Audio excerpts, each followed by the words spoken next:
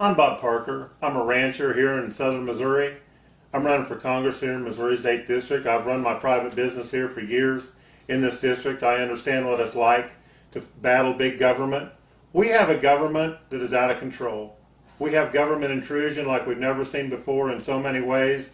It's time to step up and tell the big go- government that's trying to take over every aspect of our lives, it's time to tell them enough, and I want to do that. I've had enough. I think you've had enough. And I think you want strong representation that'll go to Washington and say, we've had enough of your taxing, we've had enough of your spending, we've had enough of your big government, we've had enough of your intrusion into our lives, our businesses, our farms, and our ranchers, this takeover we see of every aspect of our lives. I want to fight for you in this district. I want to fight for the little guy.